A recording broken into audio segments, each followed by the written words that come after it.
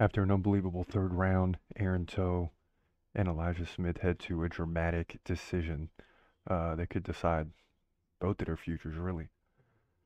Very close and significant strikes, but Elijah Smith seemed to lead in rounds one and two, so he should get the victory, even though Aaron Tau came on strong in round three. 29 28 unanimous, yep. Elijah Smith gets the victory. Man, and we were dead wrong on this one.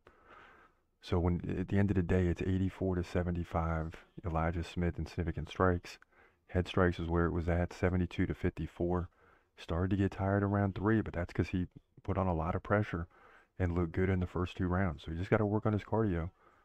But listen, the guy's only 22 years old, and if we're going to be wrong on a fight, this is the one to be wrong on. He also had two takedowns. So could he be the sixth bantamweight to get in? We will see.